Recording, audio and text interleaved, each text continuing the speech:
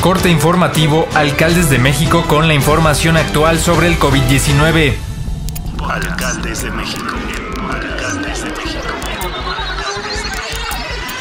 Hoy es lunes 25 de mayo. La Secretaría de Salud informó que se mantienen 14.247 casos activos en el país para sumar 68.620 casos acumulados y suman ya 7.394 defunciones por COVID-19 en México. Se reporta que se han recuperado 47.424 personas que se contagiaron de coronavirus en México, lo que representa 69.11 del total de personas que contrajeron COVID-19. En tanto, la letalidad es de 10.8% en México, lo que significa que de cada 10 personas que han contraído el virus, al menos una ha muerto. La Ciudad de México se mantiene como la entidad con más casos activos de coronavirus en el país, con 3.819, seguida del Estado de México con 1.481, Tabasco con 641 y Baja California con 616. En tanto, Colima es el estado con menos casos de COVID-19 y el único que tiene menos de 50 pacientes con síntomas de la enfermedad. La enfermedad ha ido ganando terreno en el país y de acuerdo con lo reportado por la Secretaría de Salud, solo cuatro entidades tienen menos de 100 casos activos. El presidente Andrés Manuel López Obrador señaló en conferencia de prensa que esta semana se va a definir sobre la posibilidad del regreso a clases en algunas regiones del país a partir del comportamiento de la pandemia.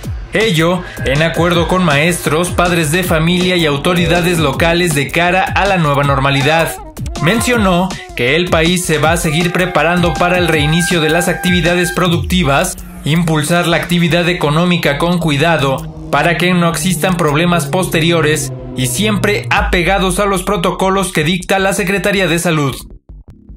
Se va a ir abriendo el país a la industria de la construcción, a las actividades mineras, a la industria automotriz que está vinculada a Estados Unidos y Canadá, y también lo que tiene que ver con el esparcimiento, la actividad deportiva, el regreso poco a poco a la nueva normalidad esto se estará informando en el transcurso de la semana, dijo en conferencia de prensa López Obrador. A dos meses de haberse identificado el primer caso de la pandemia COVID-19 en Los Cabos, los hoteles permanecen cerrados y las actividades no esenciales suspendidas, lo que ha generado un desempleo del 60%, informó la alcaldesa Armida Castro Guzmán. Los Cabos es un municipio que vive 90% del turismo, por lo que vendedores ambulantes, músicos, trabajadores de restaurantes, bares y hoteles, entre otros, pasaron a formar parte de las filas del desempleo.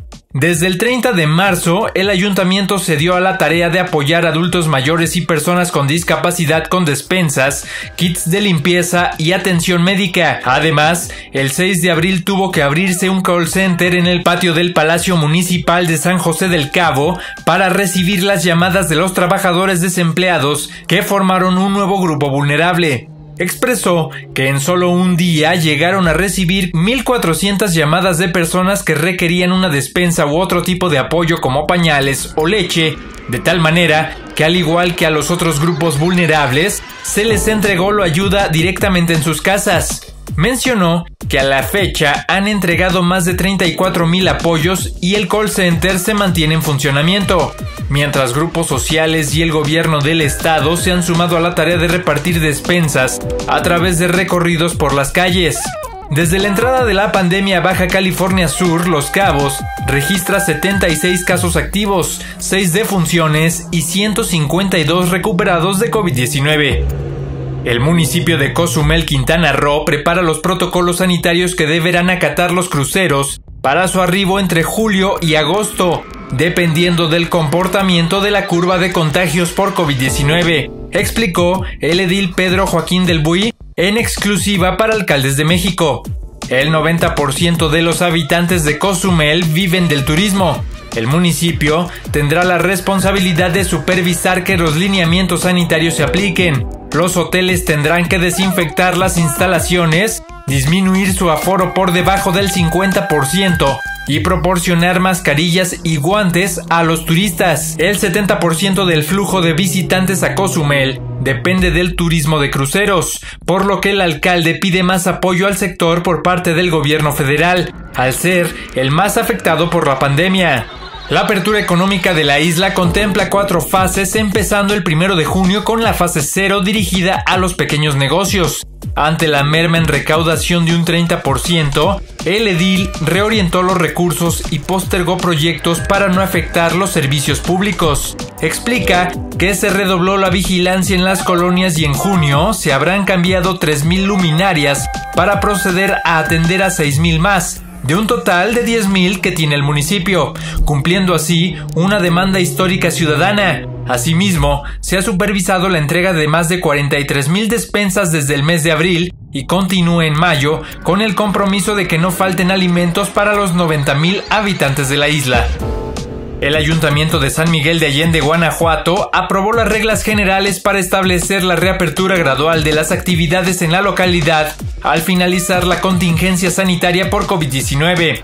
El plan está dividido en cuatro fases, de la 0 a la 3, y las tres primeras estarán orientadas a recuperar la economía local, dijo el presidente municipal Luis Alberto Villarreal García en sesión de Facebook Live de Alcaldes de México. A pesar de la fragilidad de las finanzas de los municipios del país, estos han tenido que echar mano de recursos propios, ahorros y recortes para sostener programas sociales y servicios en medio de la pandemia pero expuso que el gobierno federal no puede esperar que un municipio tenga los recursos para paliar la crisis sanitaria. Lamentó lo que dijo han sido más de 70 días de abandono a la clase trabajadora, a municipios y sobre todo al sector turístico del país.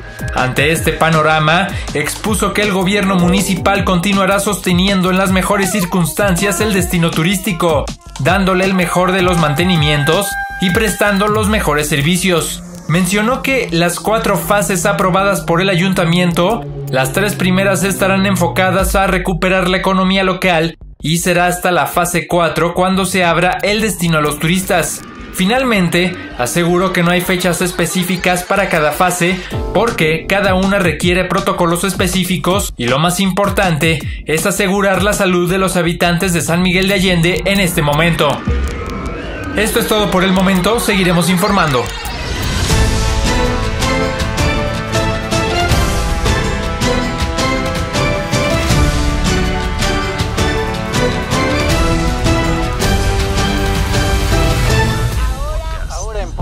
Alcaldes de México.